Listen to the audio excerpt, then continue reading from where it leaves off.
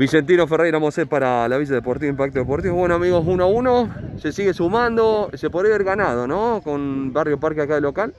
Sí, la verdad que sí. Eh, venimos con una racha de empate, los últimos dos partidos también empatamos 1 a 1.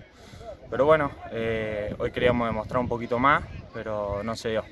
Eh, queríamos sumar de local porque era un partido más o menos ganable, pero lástima que, que nos vacunaron en el primero y, y después no pudimos remontar más.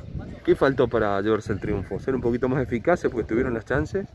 Y yo creo que por el desgaste físico que venimos teniendo hace bastantes partidos, ya que venimos jugando tres partidos en 15 días creo, eh, se notó mucho el desgaste físico a la hora de correr y marcar a los jugadores.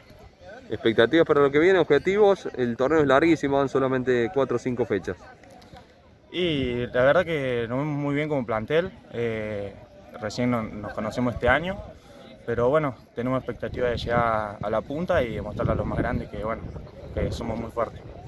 ¿Metas personales? Y llegar a primera de cualquier club, eh, tanto acá como Carlos Paz o lo que sea, pero sí jugando al fútbol y, disfrutándolo. ¿Siempre con el apoyo de tu familia? ¿Lo vimos ahí a tu madre? Sí, sí, con el, apoyo de mi viejo, de ambos dos, y bueno, y muchas veces de mis amigos. bien. Saludos, Animal, y gracias por la nota. Bueno, le mando un saludo a mi, a mi familia y a mis amigos que siempre están, y bueno, a los compañeros. Vicentino, a descansar, amigo, muchas gracias. Muchas gracias, nos vemos.